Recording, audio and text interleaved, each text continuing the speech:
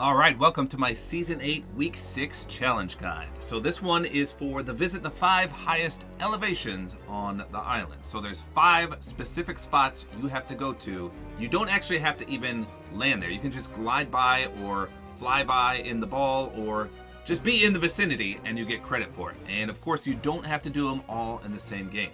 All right, so there's five elevations that you need to visit and you don't have to do them all in the same match. However, four of them are kind of nearby each other. So we're going to land at one, and I'm going to show you where all the other four are.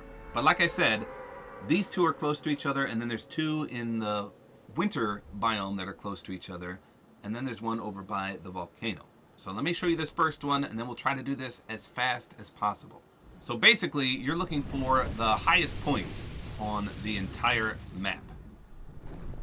And as you can see, we just got credit for this one, and here's the sign. This one is 111 meters up in the air. Now the next one is directly across from this, right over there. Let's see if I can mark it.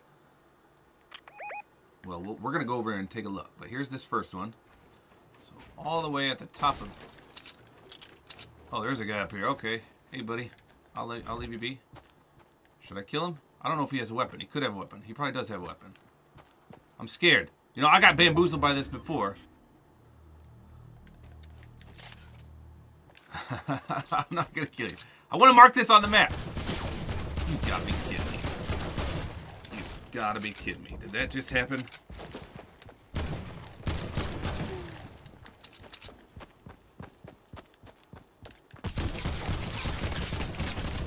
Get out of my face.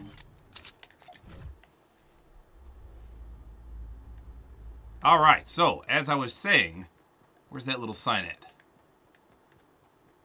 Actually, I don't see the sign. I wonder if it's destroyable. What?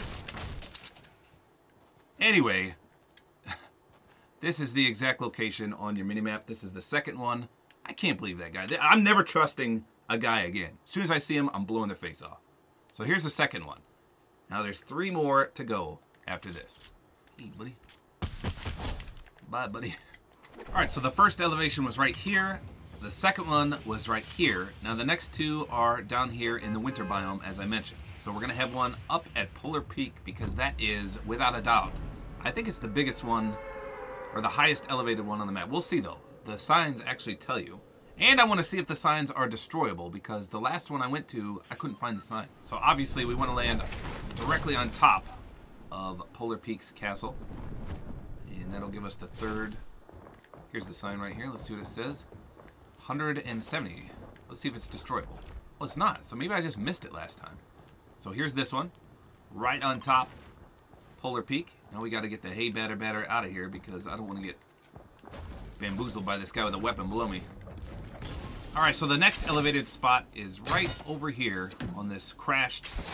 I think it's a submarine, if I remember correctly. And as you can see, it says 130 meters up. And you can go from either here to the one I showed you over at Polar Peak or from Polar Peak over to here.